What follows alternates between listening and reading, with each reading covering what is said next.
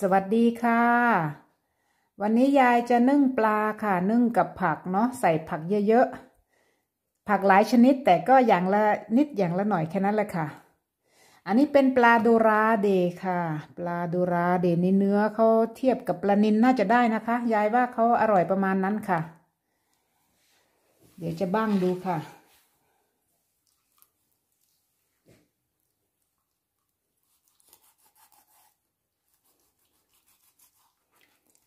เราจะนึ่งใส่ผักค่ะ แล้วก็ราดน้ำจิ้มซีฟู้ดเนาะ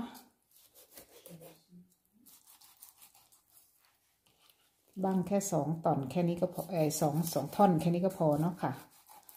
จะนึ่งใน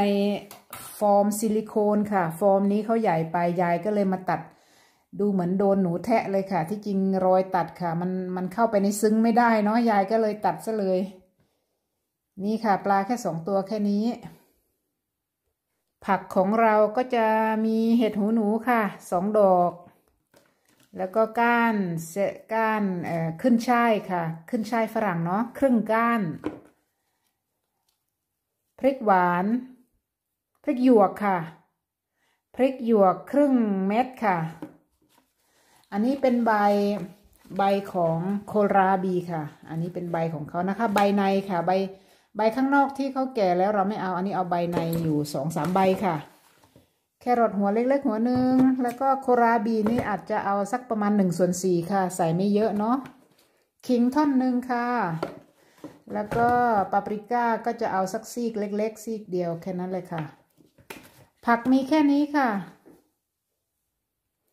หั่นผักกันเลยค่ะเห็ดหูหนูยายก็จะหั่นเล็กๆแบบนี้ค่ะ พริกหยวกนี่เราก็หั่นเล็ก ๆ เหมือนกันค่ะ ใบโคราบี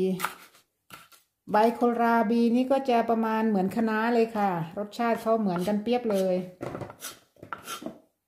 ปาปริก้าเอาซีกเดียวเล็ก ๆ ก็พอค่ะ เอาให้แค่พอมีสีสันเนาะ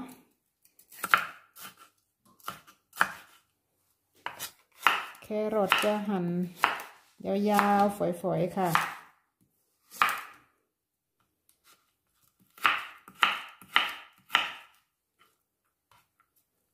โคลราบีเราเอาซีกเล็ก ๆ ซีกเดียวค่ะ หั่นตามแต่จะคิดเลยค่ะประมาณนี้เนาะขาดไม่ได้เลยค่ะ คือขิงค่ะ ขิงนี่ห้ามพลาดเลยเนาะเราจะหั่นฝอยเล็ก ๆ ค่ะ ฝอยมาก ๆเลย เล็กมาก ๆ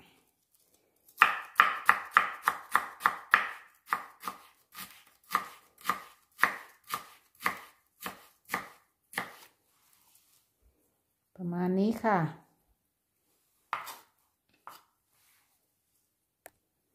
แค่นี้ก็เหลือแหล่แล้วค่ะ ผักเยอะแยะเลยเนาะแบ่งผักใส่ข้างๆเลยค่ะ ส่วนตรงกลางตรงนี้ยายจะราดน้ำจิ้มค่ะ ตรงบนปลานี้เนาะ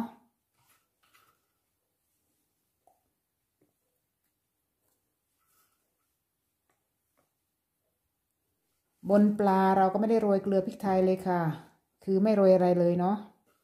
ไม่มีซอสอะไรทั้งนั้นค่ะ เต็มเลยค่ะ ผักเราใครจะกินระบาดนี้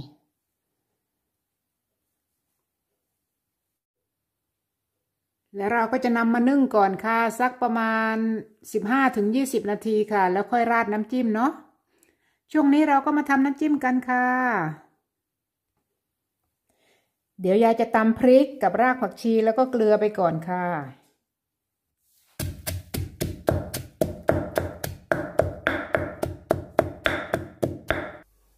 แตงแป๊ดเลยค่ะ เผ็ดแน่ๆสิบเม็ดค่ะ พริกสิบเม็ด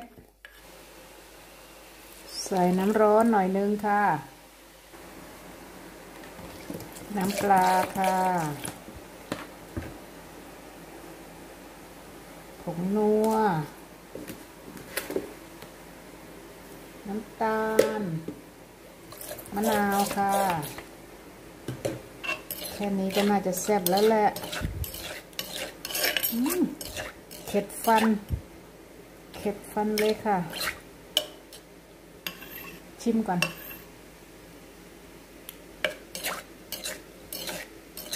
อร่อยค่ะ อร่อยมากเลย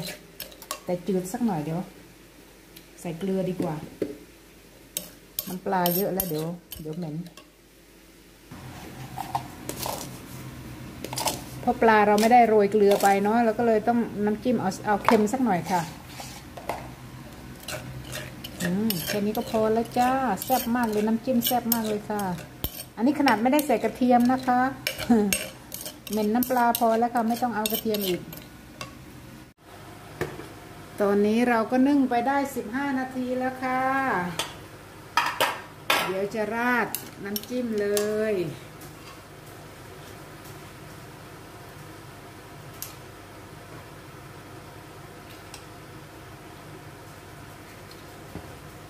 เป็นตาแสบมากค่ะ